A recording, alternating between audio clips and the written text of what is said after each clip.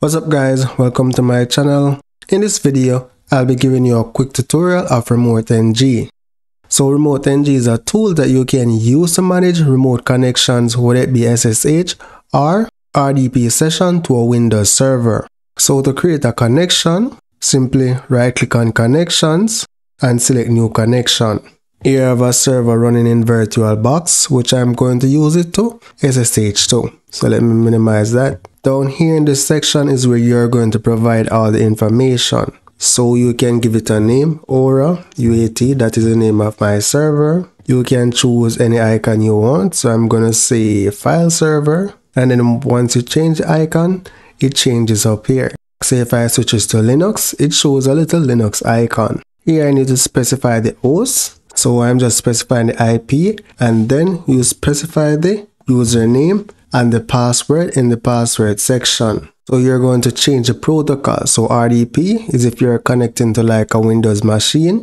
We're going to be using SSH version 2.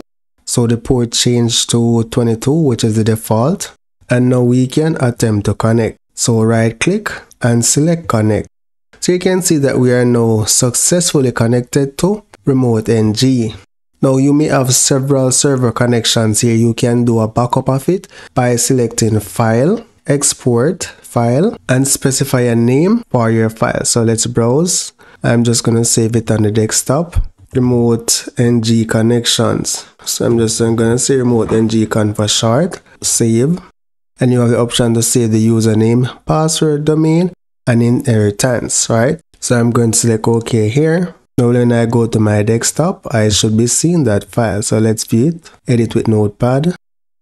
And you can see all the connection properties. Let's go back to remote NG.